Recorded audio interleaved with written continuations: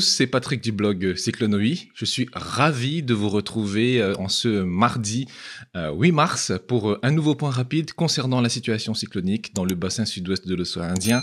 Situation qui est marquée par non plus la dépression tropicale numéro 9, mais par la désormais tempête tropicale modérée comme B tempête tropicale modérée comme B baptisée hier soir, mais qui déjà se retrouve à présent, au moment où je réalise cette vidéo, sur les terres malgaches puisque le centre du phénomène a touché terre au niveau de Cap Maswal euh, la nuit précédente et continue eh bien maintenant de s'avancer à l'intérieur des terres malgaches après avoir traversé la baie d'Antonguil. Donc, on fait un point rapide concernant ce système dans cette vidéo. Comme d'habitude, on commence ce point vidéo avec l'animation satellite que vous pouvez retrouver sur l'application Windy. Euh, animation satellite qui est bloquée donc sur le bassin sud-ouest de l'océan Indien on distingue ici de manière très nette hein, l'enroulement euh, convectif euh, associé à la tempête tropicale Gombe. Comme vous pouvez le voir, le système a touché terre au niveau de Cap Maswal, ici sur euh, les côtes nord-est de Madagascar. Et le centre du phénomène continue sa route sur les terres après avoir passé non loin de la baie d'Antonguil et, eh et de Marwanset. Et eh bien, le système va poursuivre sa route en direction de l'ouest et ressortir en mer au niveau euh, des côtes nord-ouest de Madagascar, en retrouvant euh, le canal du Mozambique, mercredi. Au moment d'avoir touché terre, fort heureusement, Gombe était un système d'intensité modérée puisque c'était une tempête tropicale modérée. On était donc loin de l'intensité d'un cyclone tropical. Néanmoins, c'est le cinquième impact direct pour Madagascar. Après Anna, Batirai, Dumako, Mnati, voici donc Gombe qui est le cinquième système à toucher terre sur les euh, côte de Madagascar au cours de cette saison 2021-2022 incroyablement euh, défavorable pour euh, Madagascar.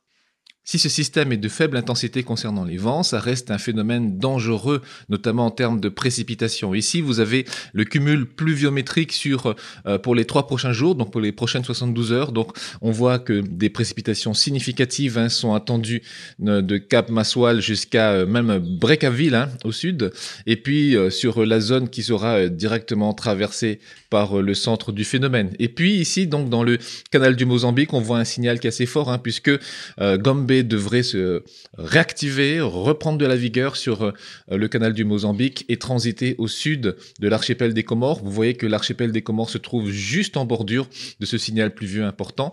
Néanmoins, on peut voir que l'archipel est concerné euh, en termes de précipitation par euh, la périphérie de ce système, par la périphérie nord du système Gombe.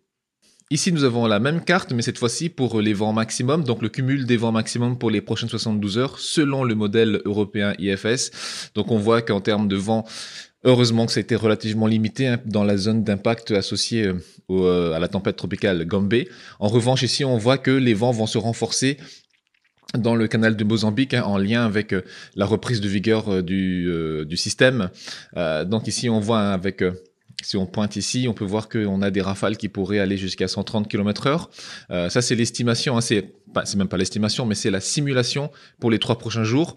En tout cas, Météo France Océan Indien euh, envisage que ce système atteigne le stade de cyclone tropical lorsqu'il évoluerait euh, dans le canal du Mozambique, mais je vous en parle dans quelques instants. Ici, nous avons euh, la simulation du modèle AROM développé par euh, Météo France et que vous pouvez retrouver sur euh, l'excellent site météociel.fr. On distingue donc assez bien euh, le, phénomène qui traverse Madagascar et qui ressort dans le canal du Mozambique et qui devrait donc se euh, renforcer de nouveau dans le canal du Mozambique. On voit ici le début euh, d'un point chaud ou carrément d'un œil au moment où le système va retrouver les eaux chaudes du canal du Mozambique hein, et donc une nouvelle phase d'intensification qui est attendue. Et la bonne nouvelle, c'est que ce système devrait évoluer au large de l'archipel des Comores, mais comme vous pouvez le voir, il y aura un impact périphérique avec des précipitations qui vont concerner l'ensemble de l'archipel au cours de ces prochains jours. Concernant les Mascarenes et notamment les îles Sœurs, on voit que là aussi, on a euh, une influence très périphérique hein, avec des précipitations qui se développent sur le nord-est des îles Sœurs et qui viennent hum, parfois euh, intéresser et affecter l'île Maurice et l'île de la Réunion. Justement, on regarde les précipitations qui ont concerné euh, les îles Sœurs euh, au cours de ces euh, dernières six heures avec le radar, l'imagerie radar que vous pouvez retrouver sur l'application Windy. On voit que Maurice a été bien arrosé cette nuit, notamment sur l'est et sur le nord, sur le sud-ouest, c'était plutôt dégagé à l'abri, hein, puisque les précipitations venaient plutôt du nord-est. Pour l'île de la Réunion, ce sont des entrées maritimes hein, qui ont affecté hum, la façade est de l'île, les hauteurs de l'est et puis la région du volcan. On revient avec le modèle à Rome pour voir qu'est-ce que nous pouvons avoir en termes de précipitations pour les îles Sœurs. Et eh bien après les pluies de la nuit, ça s'est dégagé sur, euh, euh, ça se dégage sur l'île Maurice. On a peut-être des développements qui pourraient se faire sur l'extrémité euh, sud-ouest de l'île Maurice et quelques petites entrées maritimes sur le nord-est de l'île Maurice attendues en cours de journée. Et puis aussi quelques développements sur les reliefs du centre de l'île et qui pourraient déborder sur l'ouest. Concernant la Réunion, la situation est différente. Après les entrées maritimes de la journée, eh bien, on a des développements de type orographique hein, qui, avec des précipitations qui se déclenchent sur les reliefs de l'île, sur les reliefs du centre, sur les reliefs du sud, dans la région du volcan, et puis aussi sur les hauts de, du sud-ouest et de l'ouest en cours de journée. Donc, on voit très bien le, signal pluvieux qui est très fort, plutôt sur cette, région de l'île, hein, avec vraiment un, qui est typique des euh, développements euh, diurnes et au orographique.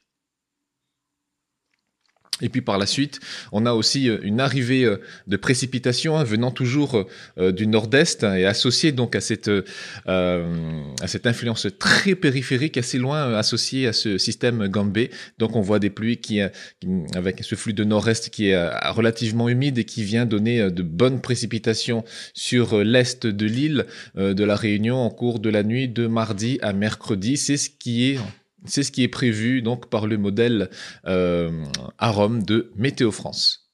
On a eu beaucoup de mal au départ euh, à savoir quel scénario attendre pour ce système, puisque les modèles étaient euh, très dispersés. On a vu notamment GFS qui était particulièrement déboussolé concernant ce système. Là, maintenant, c'est beaucoup plus clair. Hein. Le, système va traverser Madagascar d'est en ouest, un petit peu comme l'a fait euh, la, dépression tropicale Anna. Le centre devrait ressortir en mer mercredi et aussitôt une réintensification est attendue.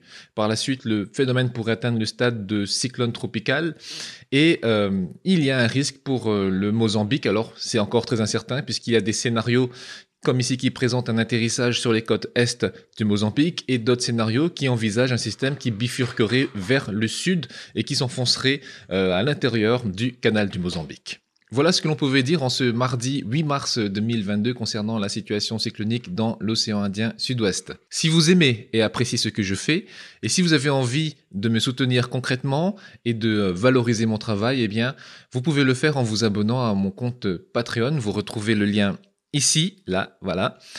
Euh, je remercie euh, d'avance toutes celles et ceux qui euh, me rejoindront et je remercie vraiment chaleureusement tous ceux qui m'ont déjà rejoint jusqu'ici. C'est très important pour moi, donc merci beaucoup à vous.